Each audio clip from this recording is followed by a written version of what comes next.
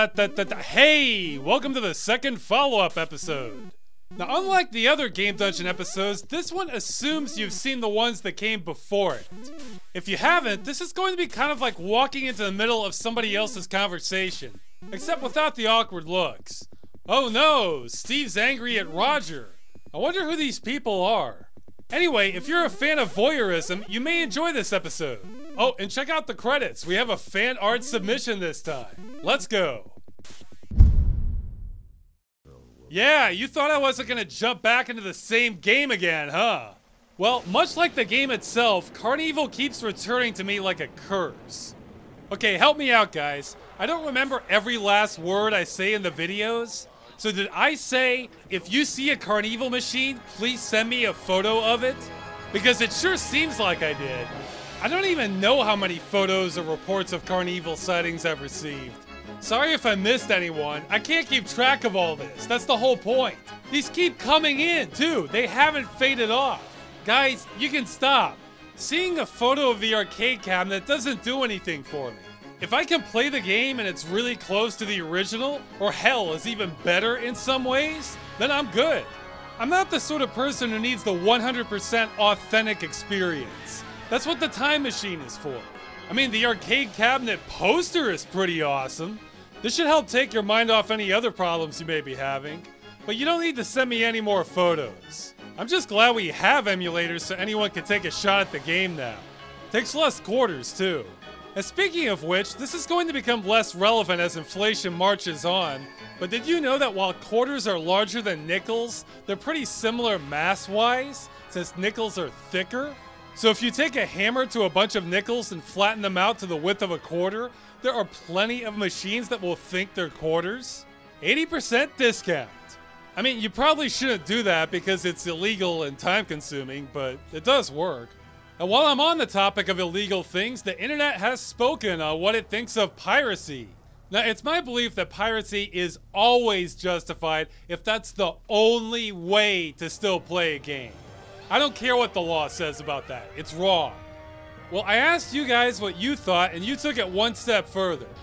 According to the internet consensus, piracy is okay anytime you have a company that stops selling its game, and the only way to get a legitimate copy is through leftover copies floating around on eBay or specialist vendors. And remember, these are just the internet people piracy laws. Under actual US law, all piracy is illegal under any circumstances, forever. Because that's reasonable. The point here is that you should use common sense, and the cops aren't going to break down your door and put a gun to your head for pirating a game that the company is literally not even selling anymore. Don't sell crack out of your house, though, because they will break down your door for that. Eternam! Well, viewer Alex Holland has sent me an awkwardly scanned authentic English manual to the game. It's only a little less bizarre to read than the translated copies. Reading this feels like talking to someone half senile, where they have coherent individual thoughts, but their mind drifts so easily onto something else without warning. You can download it in the description. Okay, that's it. Potty Pigeon. Not a whole lot to say on this one. I guess one thing I feel kind of dumb about is that Potty Pigeon was in no way remarkable about having player 2 joystick control the game while player 1 is random garbage. When I made this episode, it had been a while since I played a Commodore 64 game and I honestly forgot. Because some games player 1 works, some games player 2 works. Sometimes the joystick doesn't work at all, sometimes they both work. Everything was a giant mystery with the Commodore. I think the Commodore 64 brings the player closer to madness than any other gaming platform. Not fury or rage, plenty of platforms can do that, but actual madness. Also, several people mentioned the game Wonky Pigeon, which has the same concept of Potty Pigeon crapping on cars. It's gotten terrible reviews because apparently it's broken, plus I'm not sure it has quite the spirit of Potty Pigeon. See, Potty Pigeon has a classiness to it. English countryside, historic ruins, all creatures great and small music. I really think for a pigeon crapping game to be successful, it needs that contrast between high society and bird shit. That or the game itself could be a chaos simulator where you have to time your craps just right in order to cause accidents, start fights, ruin business meetings. There's a lot of possibilities there. Anyway, those are just my thoughts on the genre. I can't say this is a game I'm dying to see more of, but knowing the internet, I'm sure someone out there is. Helios! Well, I have some good news on this one. Sean Puckett was tracked down, or at least the closest thing we have to him still on Earth. He says he enjoys very difficult games that don't pull cheap tricks on you. And from here, things get confusing. In 2014, I got in touch with him and he told me he made the game Trichrome, which was another difficult puzzle game.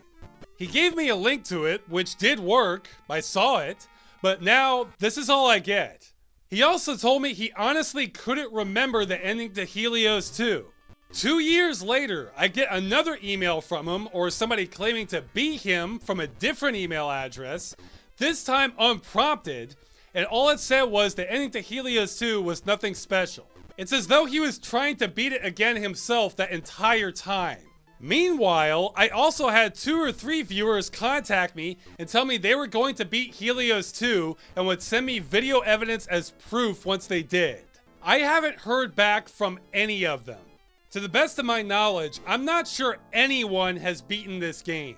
If they have, then my earlier theory of it signaling the mothership may still be valid, because no one is around to tell the tale.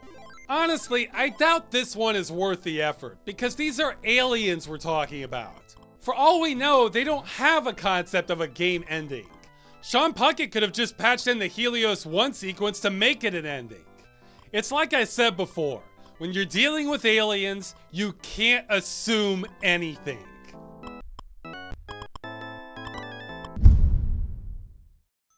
Arcade America.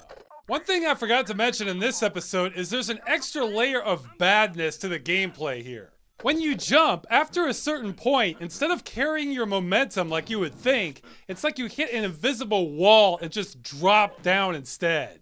This is hardly the first game to do this, but man, it really doesn't help anything. It caused me to undershoot some jumps.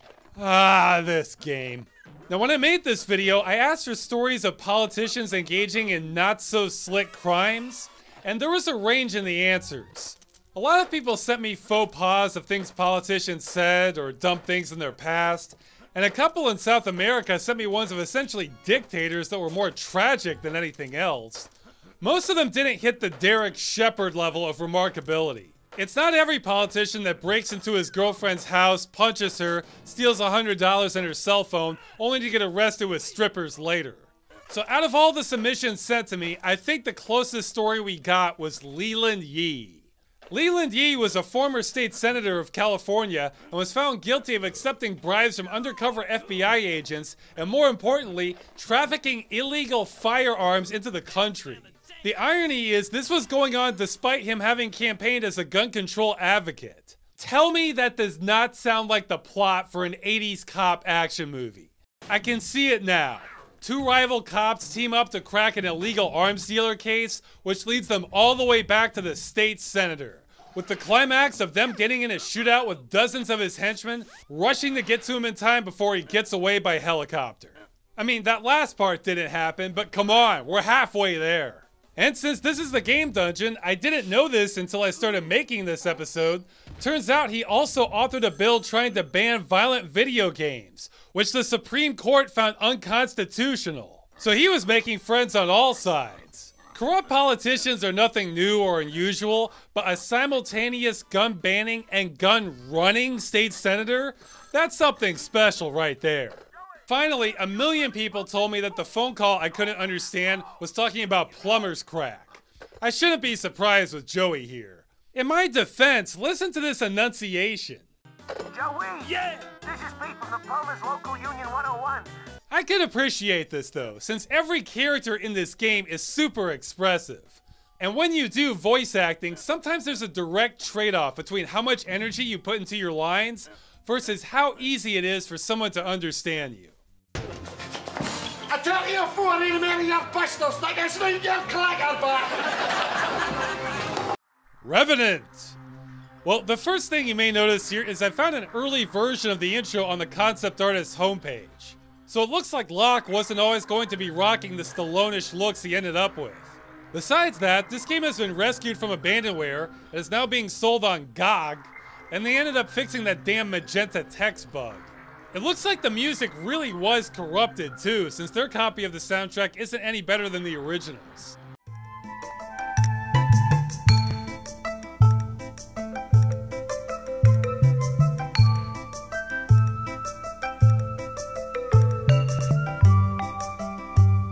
Now, I almost put this in the original review, but I lost my source, so I didn't. But I had read somewhere that this game got rushed out because the developers originally had something far more ambitious plan, but ended up just needing to slap it together and get it out the door before they went out of business. Now, since I made the episode, I did read that again, but I still forget where. At least now I remember that was real and not my imagination. This is really how a lot of my casual research and knowledge on topics works. It's a result of me thinking, oh, I know I read that somewhere, then not knowing where the hell that was. My whole life is a little like that, really. Now, when I played this, I had some difficulty with the combat, and I received a lot of feedback on that. It seems like everyone had a different comment on this. The one thing that was clear was that I was underutilizing the combos. So here I am with no cheats, fighting with as many combos as I have available at this level. They do help, and I can really slash into people now, but good God, my stamina drains like I just woke up and haven't eaten breakfast yet. My stamina bar is depleted by a fight with one enemy for the most part. So I have to kill a guy, then just stand around and admire the scenery while I wait for it to replenish. Otherwise, I'm gonna have problems. And God forbid the enemy push me back to where I've already been. Because, of course, let us not forget, enemies respawn as soon as they get out of sight. So now I'm sandwiched between two guys ready to kill me. I tried blocking more too, and you would think that after blocking a blow, that would create an opening where I can attack. Well, sometimes it does, sometimes it doesn't. It just feels semi random. Most games that have all these combat mechanics tend to have a more established pattern to your enemies. But in Revenant, everything feels frantic and unpredictable. And speaking of which, it still feels very much like a dice toss how much health I'm gonna walk away with after every encounter. Considering how many potions and food I need to chomp down to stay where I am, this doesn't feel sustainable at all. I mean, obviously it's possible since somebody's done it before. I could just save and reload constantly because that's fun, or I could just stand here and wait for my health to regenerate with a special ring. But my conclusion stands that this combat is a chore. A chore where you die. To cap it off, here is my favorite comment on it. One of the best game I have ever played. Way ahead of its time. Difficulty spikes were frustrating. They made me destroy my keyboard for the first time. Bartek Bierbash. Moving on, regarding the frame rate, I had a lot of people state that tying the game speed to a low frame rate is a bad practice and the developers should have known better. I had almost as many people say that this bad practice is very likely to continue for the foreseeable future. I also had several people ask how I limited the frame rate in the first place. So here you go. I used a program called NVIDIA Inspector and set the game to VSync at half the rate. But it has a frame limiter option too. This is also how I unlock super secret anti-aliasing settings on a lot of stubborn games. If you don't have an NVIDIA card, I think the program Radeon Pro for AMD cards does something similar, but I've had less luck in getting games to obey all the custom settings with that in the past. Alternately, you might be able to use the program DxWand? DxWand? I used this one for Baldi since even 30 frames per second was too fast for that game. That's kind of how all this stuff works for Game Dungeon. There's no one program to solve everything. I just keep running more programs until I have no certainty of anything in life. But yeah, 30 frames a second. And finally, I have one more important item here. Since I made this episode, viewer Chris Cogden has contacted me about having access to a high end printer and has offered to print a full professional poster sized version of the island of Ahkuilon for me if I finish mapping the game. According to him, it can be up to 44 inches wide and whatever length I need it to be. So now I have to finish it. I'll have to get a frame for this sucker too. I'll update everyone on that once I'm done, though it will be a while since the image is massive. It's only about a third done and is around 24,000 by 10,000 pixels. And to quote him, in a year's time we'll probably have both forgotten about this. We'll see. Oh, I won't forget what you said, Chris. The Last Stand. Okay, let's get one thing out of the way right off the bat. A lot of fans got riled up on my comment in this episode about the movie Aliens being better than Alien, saying I'm a Philistine who can't appreciate something without a bunch of action. So why don't we clear that up?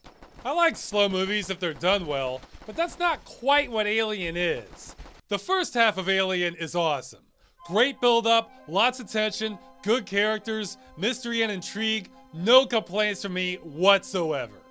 The second half is the protagonist wandering around corridors for 20 minutes at a time, doing nothing at all. Then, boo! Spooky alien! Okay, another 20 minutes, nothing at all happening. Boo! Alien. And that's pretty much the rest of the movie. This is the part that feels lame to me. I feel the same way about Mad Max Beyond Thunderdome. Awesome start, kinda weak finish. Now we look at Aliens, and we have the same intrigue, plot build up, good characters, then bam, it's non-stop survival situations for the rest of the movie, then a friggin' boss fight at the end. It's just paced so much better. The thing about wandering corridors in a scary movie is at some point something needs to be happening. Otherwise, it's just da da da da da da da da da da da da da. And while we're talking about things that are not zombies, a lot of people were quick to point out that the reason Final Fantasy is named how it is was that it was really a Hail Mary attempt from the developer where they thought this was going to be their last game, as opposed to what may be the longest running RPG franchise today. This one's my bad. Like a lot of the Halloween episodes, I was under the gun for time, so I was spending every spare minute trying to finish it up and ended up not researching that as well as I could have. But you know what? I didn't hear any comments about Final Fight. okay, so back to the game. When I made the episode, I had several reports of people telling me that the game actually ran slower then as opposed to when it first came out. I have absolutely no surprise that Adobe Flash could have become even slower over time. I do have a faster CPU now, but I'm still getting some chugging. Also, several fans were quick to point out that a chainsaw would be a terrible weapon for the zombie apocalypse because all the blood would gum up the chain and cause it to jam. That's a really valid point I hadn't given much thought to. I admit, I don't have a lot of experience hacking up human bodies with power tools, so now we know. But the big news is in the original episode, I skipped the last stand Union City because I like my games in full screen. I must have had a dozen people telling me what to do to play the game in full screen, and nothing worked. I tried it on Firefox, Chrome, Opera. This screen would always turn yellow right here. Well, I fired up the game again to re record it for this episode, and now it works. I don't know what to say besides Flash has updated since then. And if that's not enough, I was able to run the game offline too. So that's a serious 180 for me. The game still chugs pretty hard, but I'm so happy about the other changes, I can't really complain that much. To be fair, I am running what was meant to be a game in a small window at full 1080 resolution, so it was never designed to do this. Most games usually run faster as technology gets better, but there are some where you can have the fastest computer in the world and it seems to make no difference. In any event, the game is completely playable now even if I may want to consider a resolution drop on this one. So I guess that means I have to cover what's supposed to be the best one of the series.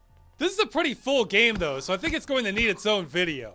I'll cover that closer to Halloween. I say Halloween because if you know me, every day is a good day for the zombie apocalypse. But come on, I have to give other games a chance too. Finally, I noticed that the... Uh-oh, looks like the secret follow-up alarm triggered. Here we go!